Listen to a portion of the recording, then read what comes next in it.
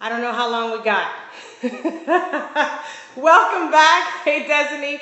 Beth, thank you for praying. Jossie was okay. She's a trooper. She was just kind of contending with her big brother. So, all of you mommies and daddies out there, you know what it's like sometimes when the other spouse is out of the house, or some of us who are single parents. You know what it's like to have to balance your destiny going after your purpose with these little ones who need you. Everything is fine. Thank you, Jennifer, for being concerned. Jossie actually started smiling and giggling as soon as I signed off, so you didn't get to see her, but um, smile. Hey, Fred. So share again. We're going to get through day 15.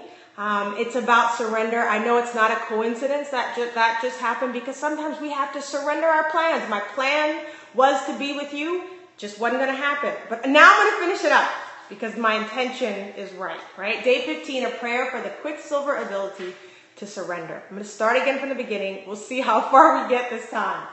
All right. Father God, help me to give legs to the dreams you give me without painting my own limited image of what I think the outcome will look like exactly. I know that if I hold on stubbornly enough to my vision of my dream, you'll eventually just let me have my wimpy version, and I don't want that.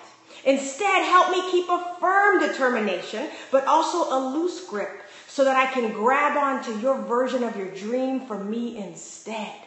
I'm surrendering my plans, my desires, my dreams, my suggestions, my intentions, my schemes, and especially my will to you. I'm determined not to want anything more than I want you and your will for my life.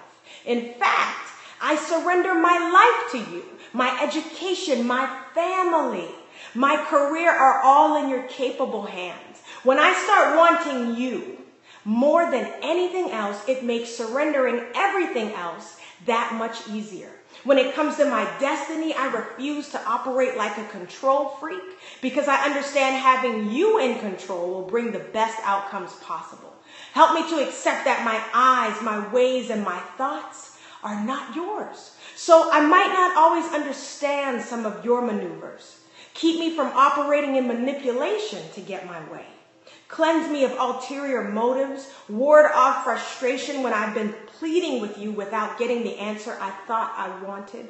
Don't let me be angry with you and turn against you because of it.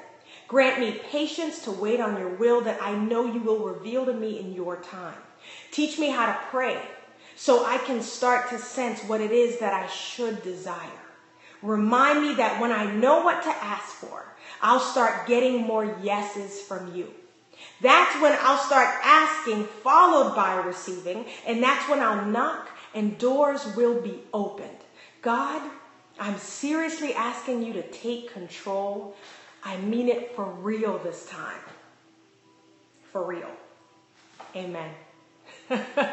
I hope you're having a great weekend. I want you to enjoy the remains of the weekend. Don't forget how you are made. You are made in audacious fashion. That's right. Amen, Yvette. And so as you go into tomorrow, a wonderful day of reflection um, and really filling up and refreshing your spiritual self. Enjoy your church services tomorrow. I'll see you again for day 16. We're halfway through an audacious August. I hope you guys have been having audacious breakthroughs. Take time to send them to me. Hit me up on Facebook at Jade Media, Twitter at Jade Simmons, of course. Let me know how this book has been affecting the way you live, the way you speak, the way you talk. And let me know what God has been doing in your life. So we'll be back for more. I think there's some more Becoming Lillette coming up. You'll be coming behind the scenes with me next week as I go on some media interviews and some speaking appearances.